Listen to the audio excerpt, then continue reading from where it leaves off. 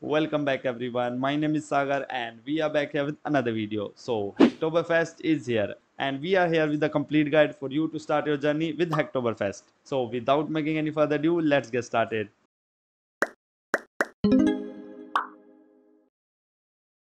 So first of all, what is Hacktoberfest? So it is an annual festival which promotes open source practices and uh, also you can see here open source projects maintained by community minded coders makes the modern internet function. Supporting that essential work and the folks behind it is what hacktoberfest is all about.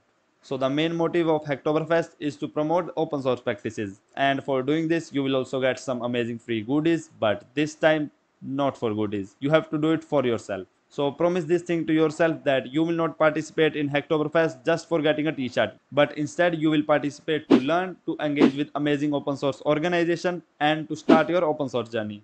So first of all, I will drop this link in the description hacktoberfest.com and you will be at this page. And after that click on start hacking. And after that there are these two platforms github and gitlab. We can just use any of them to host our projects but uh, it have much more functionality than just hosting. So I will just go for github and click on initiate. And after that you will just see some page like this. So here fill out all the necessary details. And after that you will log into this page and here you can see your github profile and here it is. So down here you can see your progress that is 0 by 4 so let me just tell you the whole process of Hacktoberfest. So this event will start from 1st October and ends on 31st October. So within this period that means in October month you have to make four valid pull requests. So it can be any of your code PRs and this Hacktoberfest also support non-code and low code PRs. So PR basically means pull request if you don't know.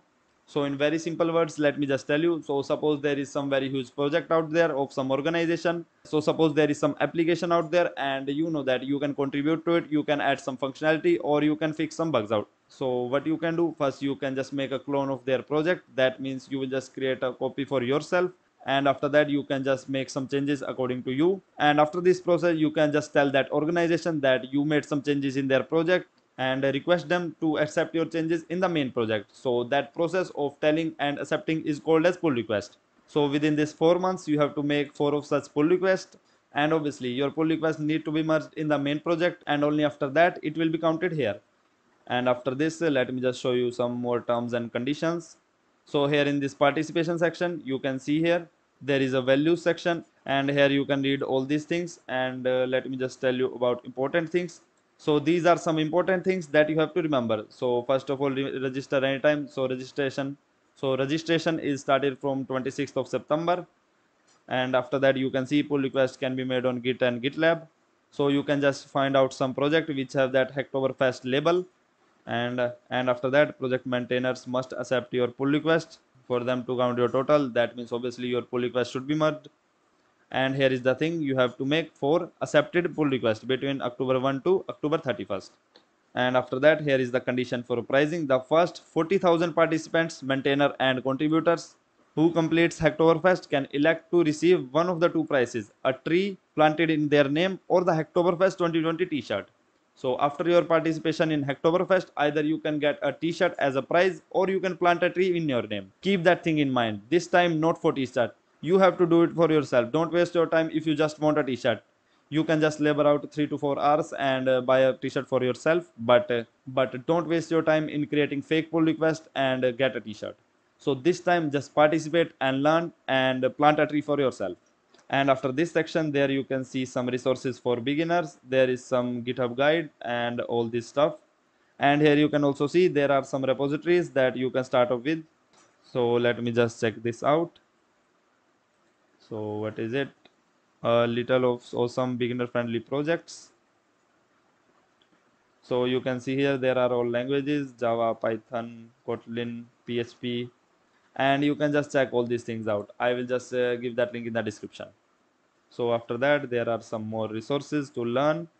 And uh, after this. So here are some details about your pull request. So first of all this. Your pull request must be created from 1 to 31 and your pull request must be made in a public repository. So you can just create a pull request in your private repository. Remember that thing. And after that there are this thing repos that uh, go against Hacktoberfest values will be excluded qualification and PR made to those won't count.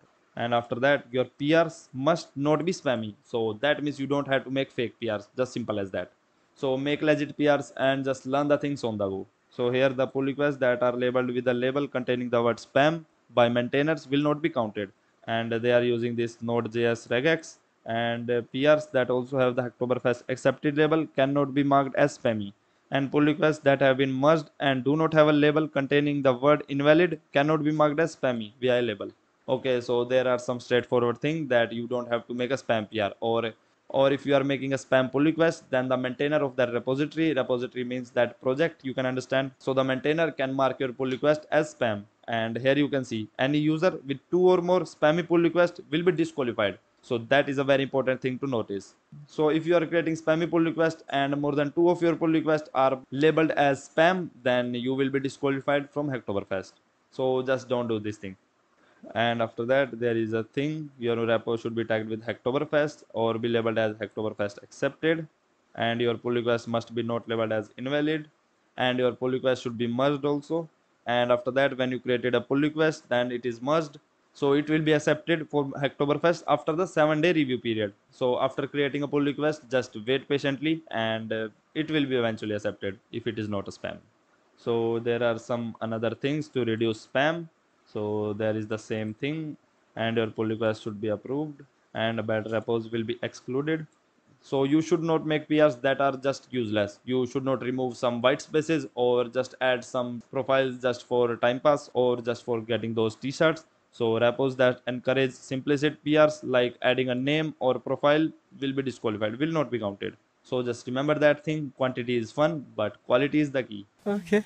so after that there is some statement for low code contributions and there are something for maintainers. So you can also register as a maintainer and uh, there are some rewards for maintainer so that is it about rules.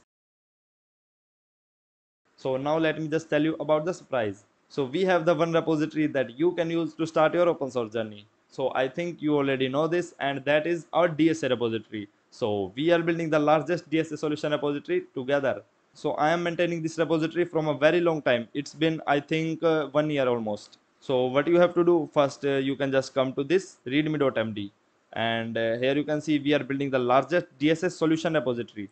So here you can find your particular solution for your dsa problem. Currently we are only supporting LeetCode gfg and interviewbit so here you must read out this stuff to find your particular solution. So first of all you can press t to just open the file finder. So i will just press. And uh, suppose i want to search out some problem. That is uh, 9 divisor so that is a problem for from gfg platform. And here you can see 9 divisor.cpp solution and java solution is also here.